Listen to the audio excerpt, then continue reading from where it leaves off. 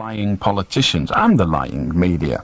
And it won't change until someone is able to communicate that vision Yeah. of a clean air world. Yes, that is a very frightening thing. I mean, I, I very recently did something, uh, was involved in things that, that perhaps you mightn't approve of. I was involved in trade union politics.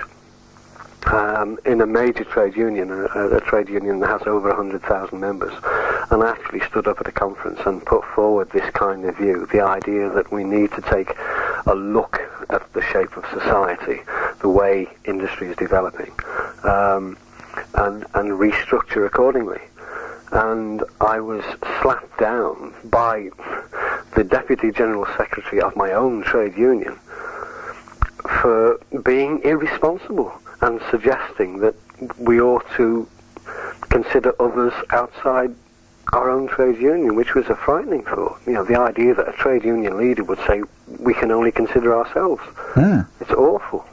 But that's what we're about these days. We are the policies of conflict and repair. And that's all. And the only way to change it is from within. But it requires persistence. When I was a shop steward in a trade union, I don't know where you get the idea, I would be against the idea of being involved in trade Well, unions. well, I know you're against power politics. I- Indeed.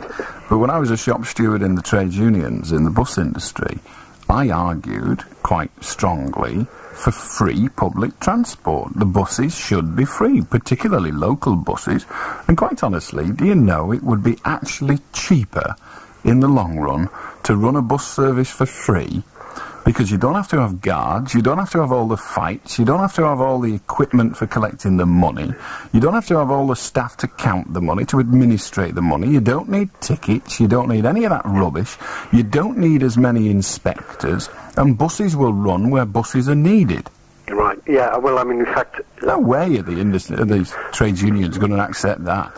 But, uh, but well, having said that, I mean, it's interesting because Sheffield City Council have done some experiments in that direction and have gone some way to proving the point. And indeed, Liverpool and London Transport have also run, although not to that extreme, they've run similar experiments. And Yeah, they've, they've done cheap public transport, That's but that's not enough. The argument was for free. That's right. And if it's cheap, you've still got all the expense of money. Whereas if it's free, you save all the expense of money. I know that sounds ludicrous, but buses, remember, lose money. Well, I mean, I mean, handling money is an expensive business anyway. Very expensive, level. particularly Right, yeah. pennies and tuppences. Absolutely. However, we're not going to change the world, Mike, but I'm sure we both would like to. Yes, absolutely. Perhaps not in the same direction. Thanks for your call. Nice talking to you, Cheers. Allan. See you. I'll do, David. Hello, Allan. Hello. I uh, called into Red Rose Radio today to pick up a photograph of you from my mother-in-law. Hope she's very pleased. Um, it's the first time I've been to church in a long time, I can tell you. Um, however, Sally Moon was there. I think I would prefer to look at her photograph than yours. Are you still listening, Allan? Yes. Um, well, that's about it, really. But I would like to comment uh, about the Scouser who rang up, who's talking about ec- uh, elocution lessons. He said he was embarrassed about his. Uh, he was stuck with this, you know, um, dialect he has. Well, what I would suggest to him is to go and see that lady in Southport. Um, to get big, massive shocks of electrocution rather than elocution, because there's nothing embarrass- to be embarrassed about the Scouts. Uh, so what again? You seem to have come to a halt. I've lost the word, Allan. Don't worry, ring me back when you've found it. Here's the latest news from John Wilding. First, the bad news. The Ford Motor Company have increased the price of new Fords. But now here's the good news. John Wilding can still offer you new Ford cars at the old prices. An offer as good as this can only last for a short amount of time. So rush over to see the amazing deals John Wilding has to offer you. New Fords at old prices for a limited period only at Fairview Garage, Garstang. When you think about cars, it pays to think of John Wilding. John Wilding. Rose Radio, just the job. Job hunters, do it with Red Rose Radio. Tune in any weekday at 9.30 or 4.30 to hear Just the Job, a selection of vacancies from all over Lancashire, including secretarial posts, manual and skilled work, sales staff, and a whole lot more. Just the Job is regularly updated and can also be heard anytime on our job line, Preston double five double one double nine. Got that? Double five double one double nine. Or pick up a written copy in reception. Just the Job. It could mean just the job for you. Stay tuned. I'll do, Roy. Hello, Allan. Do you want me to uh, sing a song or tell you what I have to say? I'd rather hear what you've got to say. Right. Well, my mate Simon Duffy at work, right? End of story. We don't use other people's names on this programme. Hello, Roberto. Cat Doodles. I'll do Frank. Hello, Allan. Uh, I wonder could you give me a bit of advice, please? I, I bought a, a compact disc player from a local uh, electrical firm in Southport. That's better. Right. And um, Go on. um, it's lasted approximately five months. Now, it broke down on Christmas Day, which was very annoying because I've, I'd got some compact discs for Christmas. yes, right. I don't know how they know it's Christmas, you know, but go on. I know. Well, anyway, I took it back the first day that this, this local firm was Yes. open, and they promised it me back for the uh, New Year's Day when they were open again, which I was waiting for avidly because, like I said, I got some compact discs Yeah, right, and able to play. Yeah. So I went in on the on the New Year's Day, and they said that it wasn't ready. So I gave them another couple of days after that. I went down this Saturday, just gone. They said they're waiting for parts from the manufacturers. Now, if they promised it for such a day, surely they in their contract they they should fulfil the promise that he made. I've even got it in writing to say that he'd be ready to pick up on the 31st of January, uh, 31st of The December. answer is yes, they should honour the contract, but there's a term, a legal term, and it is the contract is frustrated. Now, when they make the promise, they make it on the presumption that they'll be able to honour it. But if, through no fault of their own, they are unable to honour it, then the contract is frustrated. And you could, technically, sue for compensation. But what compensation would you be able to quantify? What is the value of a compact disc player's use? Because all you've lost is its use. The capital value of it is still there. The repair will be done. So all you've lost is its use for the days since that promise expired. Now, how do you quantify the value of the use of your compact disc player? It's very difficult. Mm, yeah, it is very difficult. So Um, you could sue them for that loss.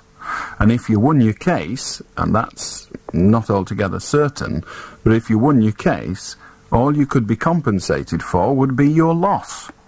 What is your loss? um, only loss in pleasure of listening to Ah. the presents that I. well, the company, ca- the, the courts can't give you pleasure, they can only give you money. So you've got to be able to put it down to money. Mm, And it's difficult. yeah. Well, they, they said that the parts would be in within the next week, so I said I'd call back on this Saturday coming Mm. if it has not been repaired by then. Is there anything I can do about that then? Unfortunately, no, because you have allowed them that extension. What you need to do is to get very specific, and you need to say to them, Well, I will now give you a reasonable time. Now, let us say another seven days. I will now give you another seven days. And if at the end of that seven days the equipment is not back with me and is not repaired fully and satisfactorily, then I want the equipment back and I shall take it elsewhere to get repaired and I will then sue you for the cost of that repair. But of course that requires A, positive action from yourself and B, there is a degree of risk. Mm. How, how much risk? The risk is that the amount it costs you to get repaired elsewhere may never be made available to you by the company because they will argue that you have been unreasonable and the courts will then have to decide whether you were reasonable or unreasonable in the time you allowed. It's a very difficult, no one can predict the answer. Right. I honestly advocate patience. Mm. I think Works it's gonna be the wonders. Virtue, yeah. I think it is, because at least you don't have to spend any money for that. It's a frustrating problem, it's a difficult problem, but it's, it's almost impossible to, re- to guarantee a satisfactory solution. Right. Thank you very Okay? much, Allan. Okay, Cheers. thanks. Bye. Ta-ra. Parry, how do to you? Hello, Hello. Um, what did the um, hurricane say to the coconut tree? Hang on to your nuts, Spock. This is an ordinary blowjob. you disgusting creature, go away.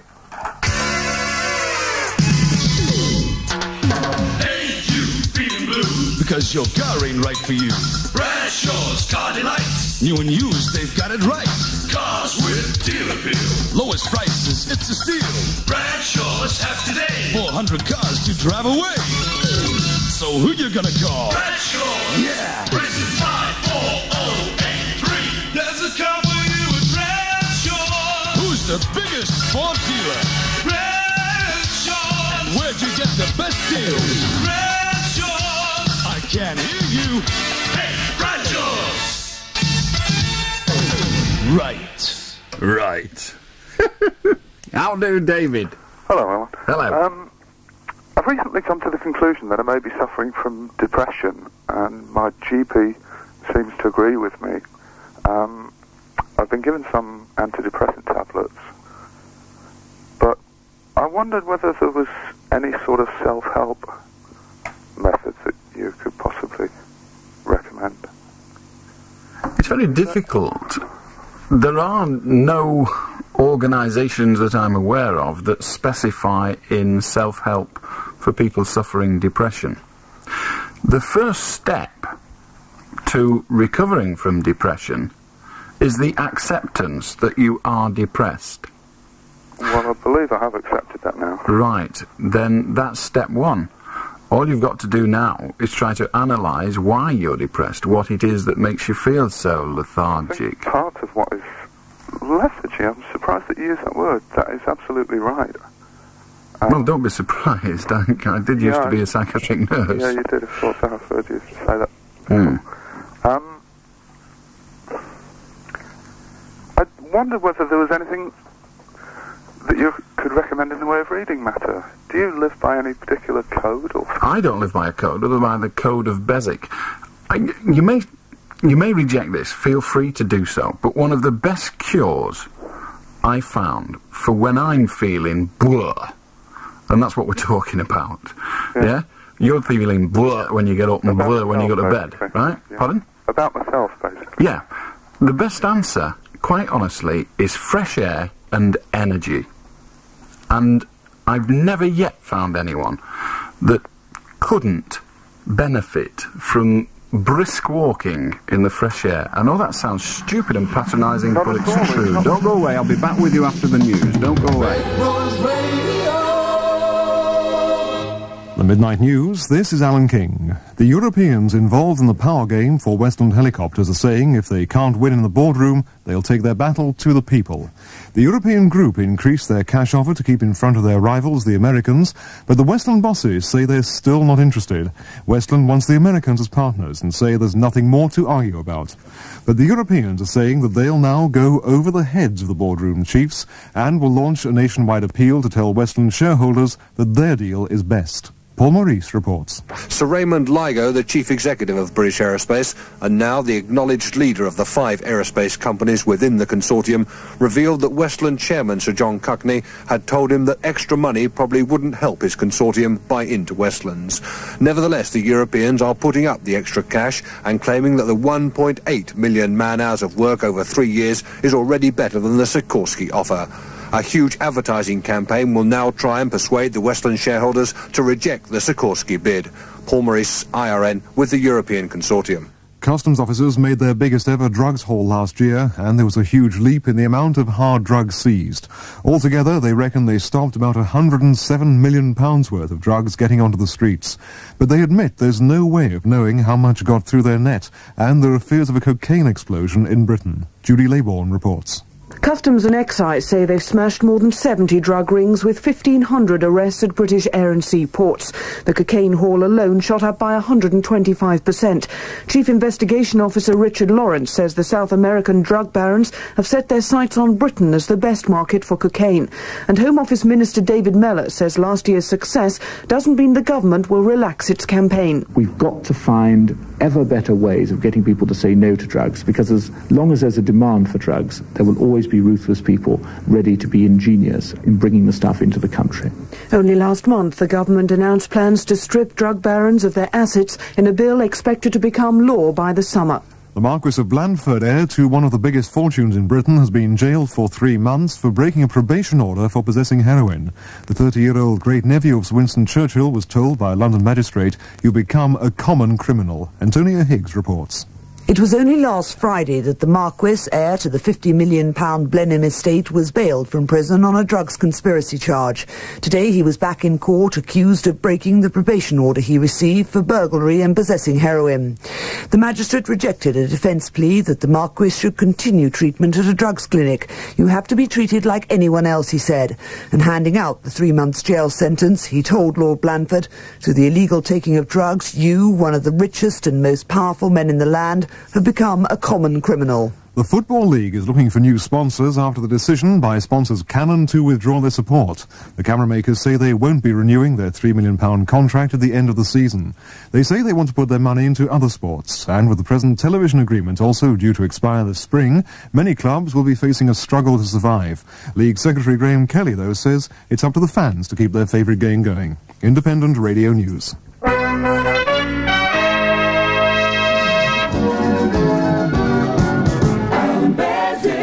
If you'd like to join us on the phone in, you're more than welcome. It's just after three minutes past midnight. Welcome to Wednesday. Drive carefully, the roads out there are disgraceful.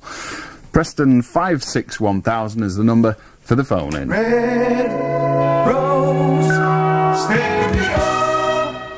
We're back with David. Hi. Hi. Now, I was saying about brisk walks and getting out in the fresh air and the countryside and things like that. And one of the reasons I say that is that the there's a symptom. I'll, I'll give you the, the, the technical term for it. It's a stupid term. It's called psychomotor retardation.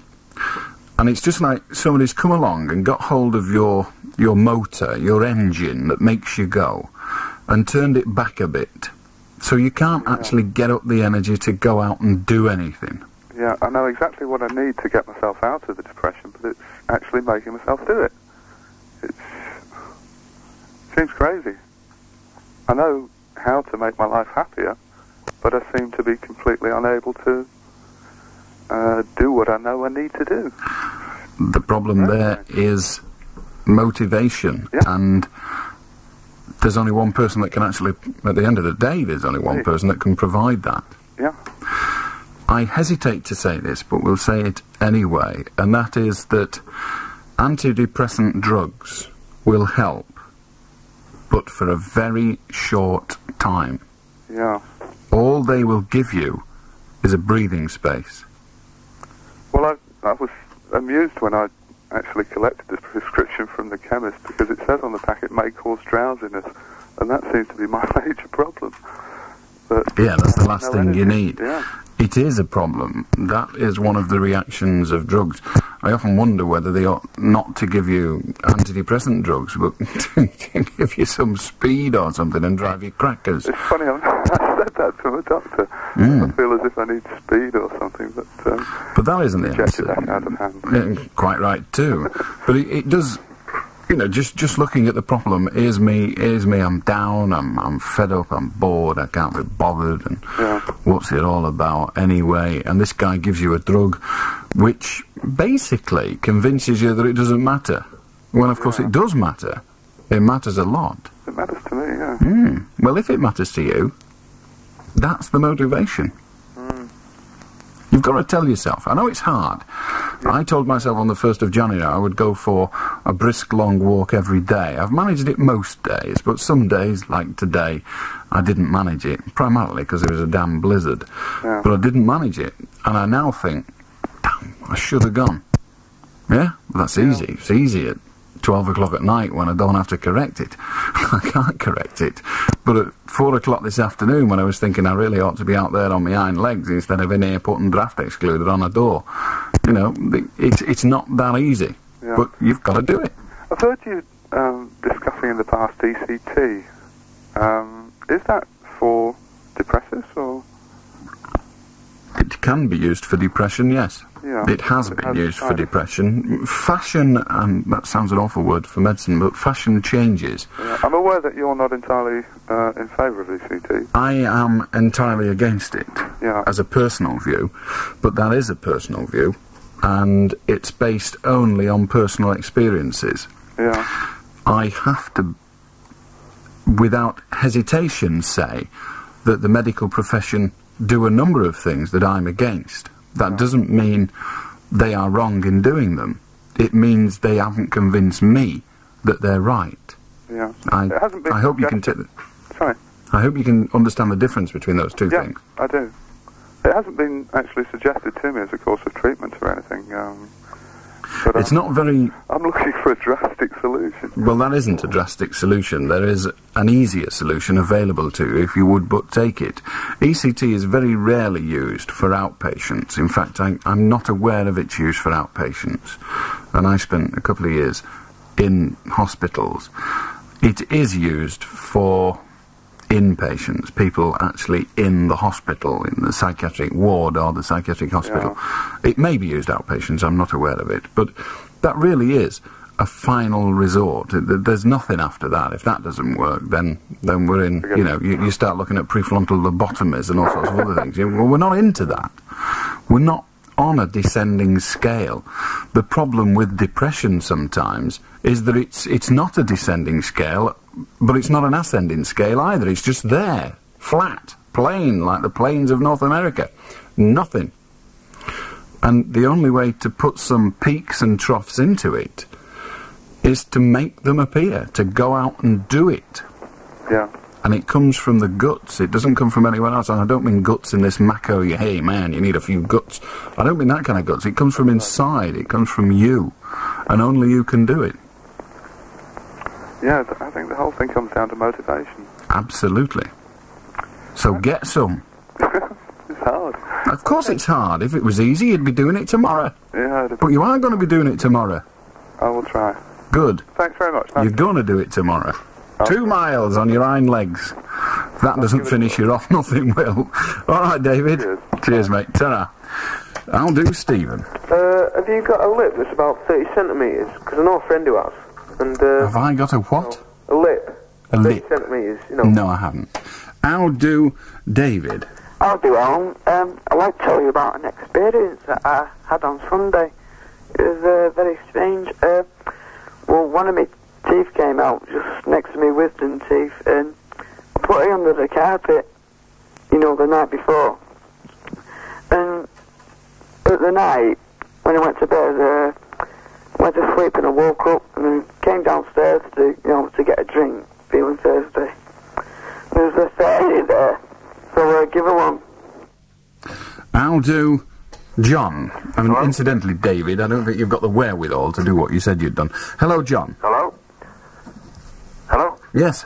I'd like to know why when people ring you up, 90% of the time, you just try and make such a wally out of them, call them a wimp, and Did you say? phone down. Did you say 19 or 90? 90, or most of the time, should I say. Well, uh, you say what you like. I'd just like to establish what it is you are going to say. Yeah, or before, before you get the chance to give you some stick back. Well, John, as I've just pointed out to you, without use of words of any great difficulty, it isn't hard to make people look wallies on this programme because an awful lot of them are wallies. For example, you came on and said 90. I wondered whether you said 90 or 19 and asked you, so you immediately changed it to more than half. You see, John, the difficulty is that people do not know what they're talking about, and I include you I never in that. changed it to more than half, I changed it to most of the time. Most means more than half. That's what it means. 90 is more than half, isn't it? Yes, but so was 51. Yeah, well, I You said see, 90. well, yes, you said 90, 90. and then you said, well, more than half. A correction. Yeah, okay, can I finish? You can finish by all means. Good night. How do, Paul? Hello, Paul. Uh, you, you say that uh, a lot of people are, are wrong on your show, and uh, you, you were wrong, but you don't uh, give chan people chance to say why they're wrong. Like I had, an argument with you before about. What do you mean? Give people a chance to say why they're wrong. I don't care why they're wrong. If they're wrong, they're wrong. I don't wish to continue a conversation with you- someone that is no, wrong. You was wrong. Sorry, I'm, I'm a mistake. I'm a bit. I nervous. see. Oh, you're a bit nervous, are you? Well, never mind. Uh, I had an argument with you, and you was on about galvanising being a being a an electroplating. Uh, uh, And you're going to tell me I'm wrong? You can't even say it. Ring me back when you've practiced. How do, Gary? Morning, Allan. Yeah. Right, uh, am I right in saying the Queen was crowned in 1952? I think you are. Yeah. Uh, c- have you any idea when her father died, King George? I think it was 1951. Yeah, right. What what it is, I want to know. When he dies, there's a gap between his death and her coronation, right? Yes. So does she immediately take the mantle of Queen, as it were? Yes. The coronation itself is, if you like, the theatrical, it's the pageantry. It's the confirmation of what has transpired. But the actual line of rule, if you like, changes the second the king dies. Indeed, there is the say, the king is dead, long live the queen. Yeah, it's, it's just that when I got a pocket full of coppers, I chuck them in this tin. I was counting to bring them to the bank, and I found a, an old shilling with her head on in 1951. You see, and I thought I might have got a few bob. well, you still, reason you still might. it's No, worth I a try. I- oh, you know, because I thought there would have been enough old shillings with his head on to keep on running. But Yes, but uh, they change it straight away, I presume. straight away, do they? Yeah, well, imagine the situation if they if they brought out a a coin just after the king had died and it's still got his head on it. They're going to look right prats, No, no, no, but they wouldn't do that because the coins would still be in existence with his head on, wouldn't they? That's what made me think. I thought, why would they immediately bring out one with her head on? they? Well, they bring them out uh, at regular intervals, coins, don't they? The, the the Bank of England just say, "Okay, we need some more shillings, Charlie. Send us a van load or whatever," and out they come. So it was definitely 51 he died. Uh, no, I didn't say it definitely was. I said I thought it was.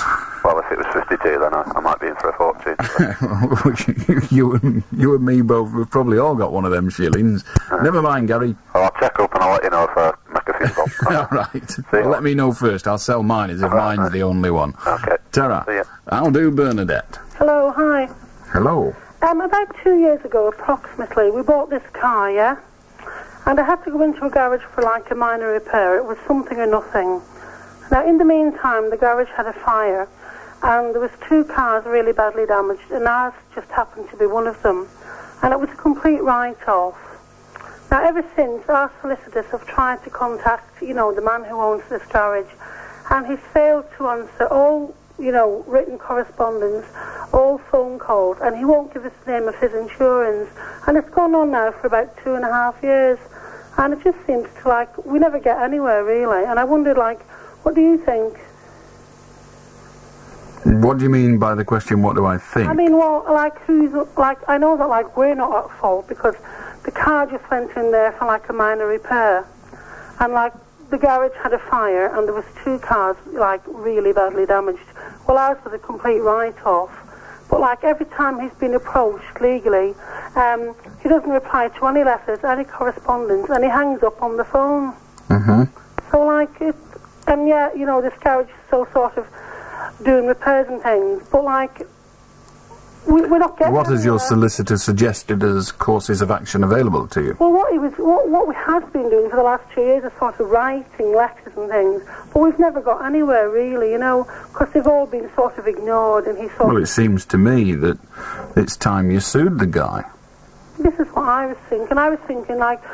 You see, we were trying to think about like court costs. Would it like would we have a hell of a lot of money to pay? But really, I mean, they they should really. Well, the problem is, to be perfectly honest, Bernadette, you've paid a lot of money already, or you will have to have done. Your solicitor's sending letters getting no result. He's not going to not charge you for them. He's Yeah. still going to charge you for them. I mean, uh, he said that he's even rang him, and like um, the minute he said who he Your was. solicitor sounds to me like he's a bit of a weed. Yeah.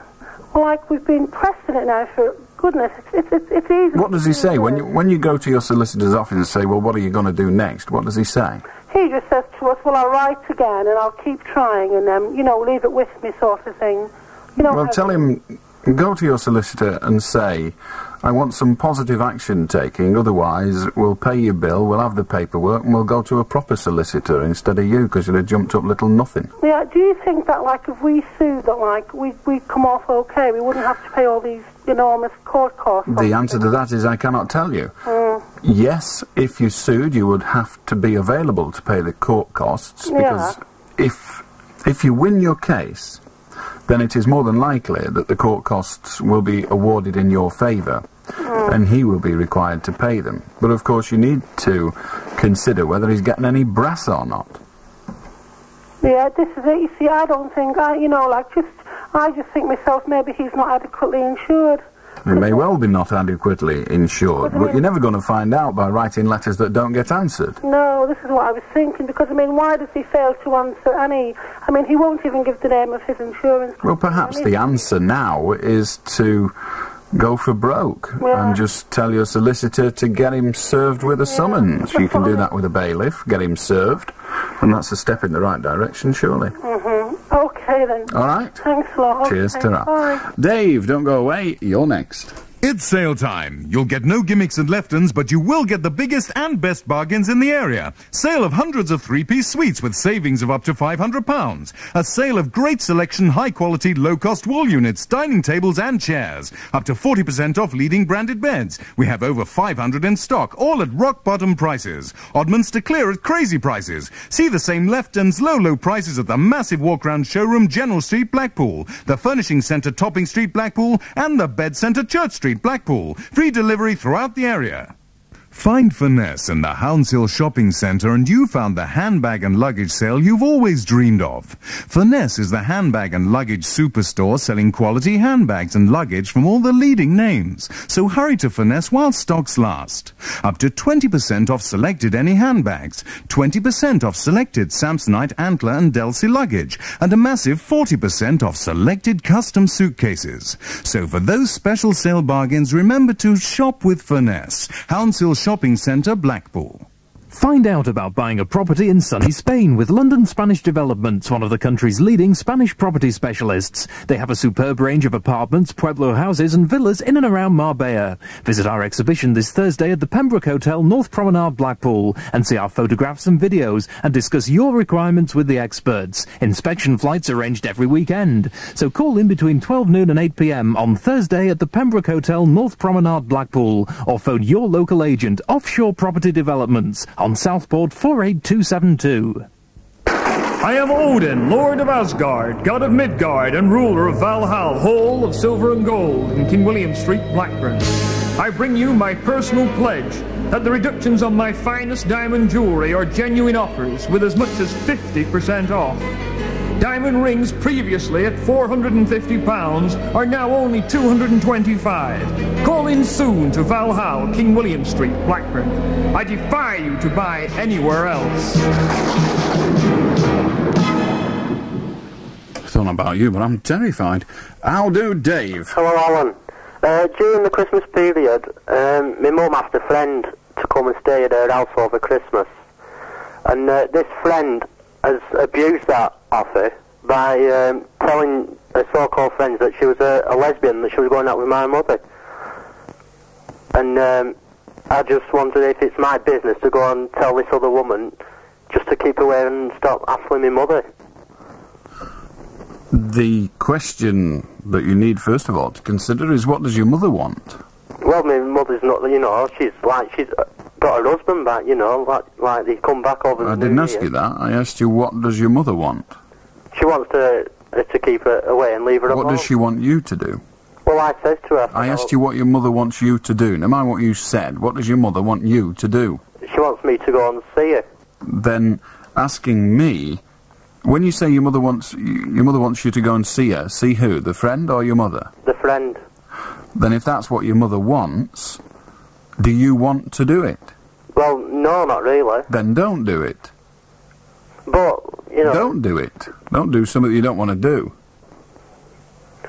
but just phoning up and uh, Doesn't matter. Don't do it. If you do not want to do it, don't do it. Say to your mother, but be honest. Yeah. And say to your mother, look, I, you know, it's not my business. I can't sort it out. I'm sorry. so I just leave it down to my mother. Well, you you don't leave it to anybody. You just decline to become involved in that way. You have your first responsibility is to you. Yeah. Okay then. Okay. Thanks a lot. Bye. Cheers. How do, Mike? Hello, Ellen. Good morning. Morning.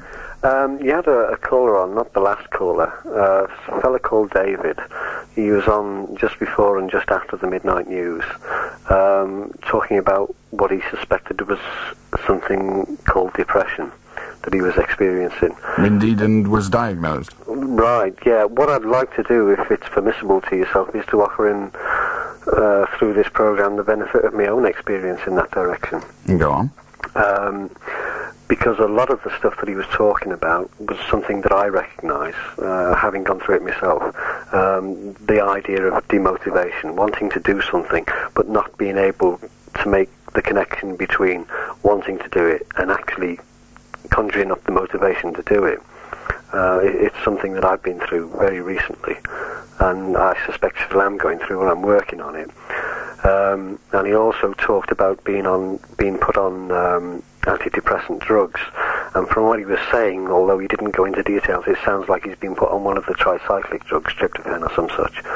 Um, and what I'd like to say to David, if he's still listening, is that um, if he's still on these drugs, and if my experience is worth judging by, um, the best thing you can do is one, take your counsel, this brisk, wear, brisk walking and, and fresh air stuff, uh, should do that because it's important for him, I think, to go out and realise that no matter what he's experiencing, the world still exists and still goes on outside him, and he might as well be taking part in all that. Um, but taking it a little bit further is and I'm only speaking from subjective experience, is that it might be a good idea for him to get off drugs and perhaps investigate um, the possibilities of psychotherapy rather than psychiatric treatment, um, uh, which might enable him to investigate what is actually going on inside himself um, to find out what is making him behave the way he is, why he is experiencing this thing that we call depression, which is an awfully vague um, multitude of sins type description.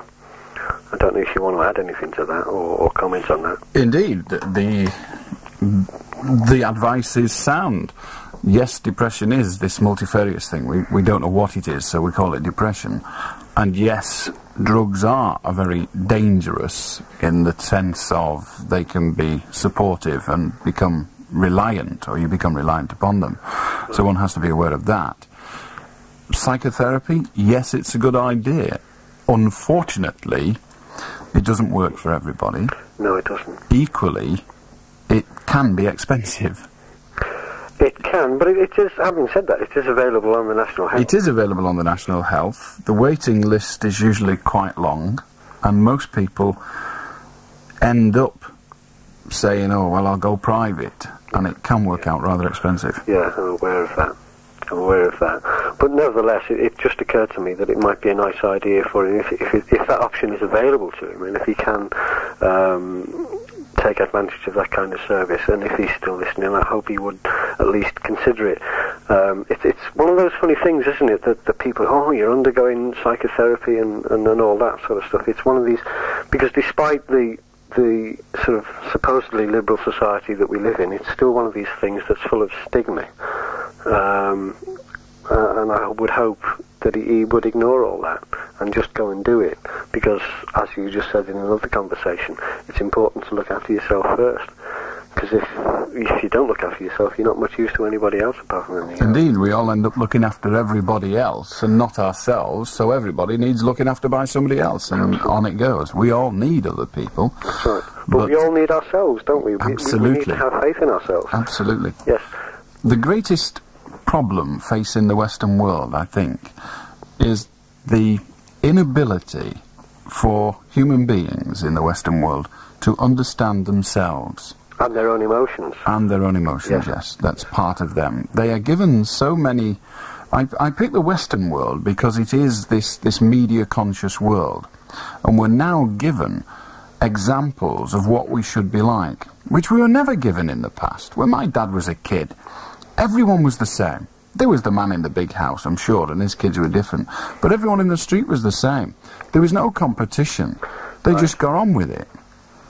And now we, we've, we've got this media identity of the 2.2 children cosmic family, or atomic family, or nuclear family, or whatever they call it. And it's all bunkum. It is. It's all absolute garbage. Yes, we, we, we sometimes we're, we're led to forget, aren't we, that, that at the end of the day we are our own selves. That's, that's the only person we are. Absolutely, uh, and we're we're sold a society in which we're supposed to That's right. behave as as um, well as a model. We're given models, aren't we, and we're expected to live up to those models. That's it. And then we live in a life of failure.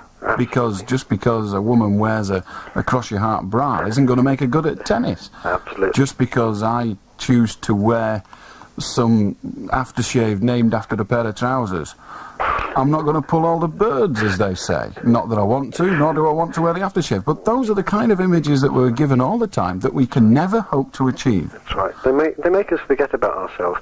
But having said all that, I mean, I've recommended this this idea of psychotherapy to what a, what was his name, David. Uh, If he's still listening, I would ask him not to be put off by the fact that if you take the word psychotherapist and break it up a little bit, it spells psycho, the rapist. If that didn't do anything else, it'll give him a laugh, David. Thank you very much, Mike. Okay. See you tomorrow. Never thought of it that way, but it's in there. How do, Neil? Hello, Allan. Uh, when you're on at King George's Hall shortly, Yes, the 16th of February. 16th of February, A Saturday night, anyway. why not take time off for a couple of minutes to pop into the video shop across the road for a great selection of the... We don't do adverts on this programme. And not that aren't paid for, anyway. How do, Karen? Hello? Hello? Well, what do you Uh, want? Well, this morning I went down to sign on, and uh, they told me that I wasn't entitled. I'd, I'd, I wasn't entitled to no money. I had to go to the social. So I went to the social, and they said to me that they'd been up to visit me.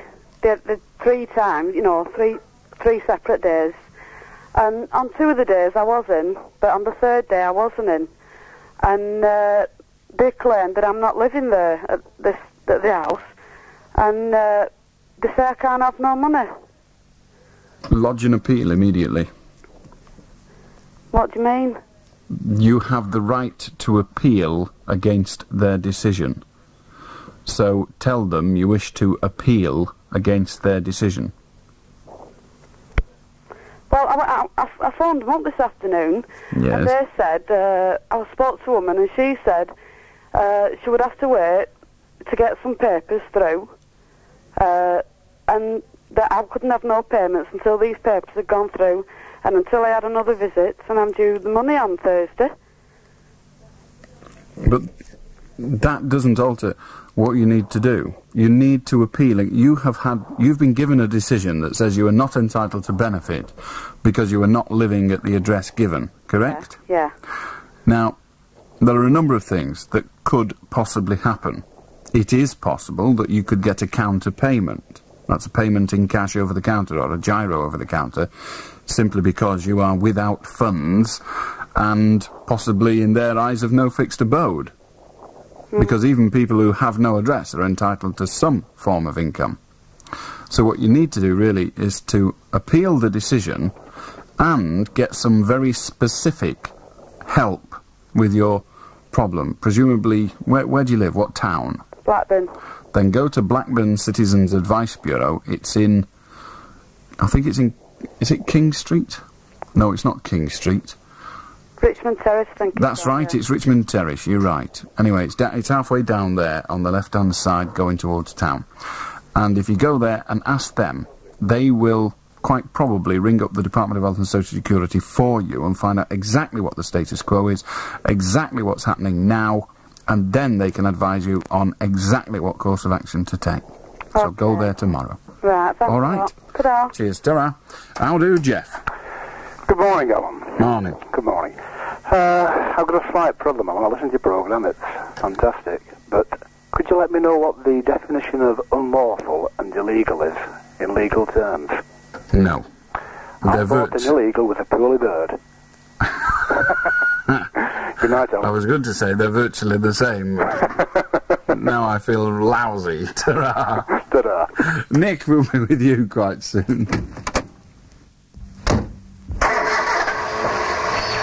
Blinking egg, Dave. Why don't you get a decent radio to match this flash car? Well, that one cost an arm and a leg, but it's never been much good. Ah, you need to contact Westhoughton Car Radio, mate. They've got superb systems by Blaupunkt and Panasonic, such as the Blaupunkt Miran, which will fit for under 100 quid, including the aerial and speakers. Hey, and they've got the Blaupunkt D-Stock range at less than half the normal price. None of this distortion like with one of them. Blowpunk what? Blaupunkt. It's German, indeed. I thought you were supposed to be brainy. Hey, you can also get electric windows, vehicle alarms and car phones fitted by Westhoughton Car Radio. Oh, find the right station with Westhoughton Car Radio, Church Street, Westhoughton. Phone Westhoughton 814-229 before you crack up.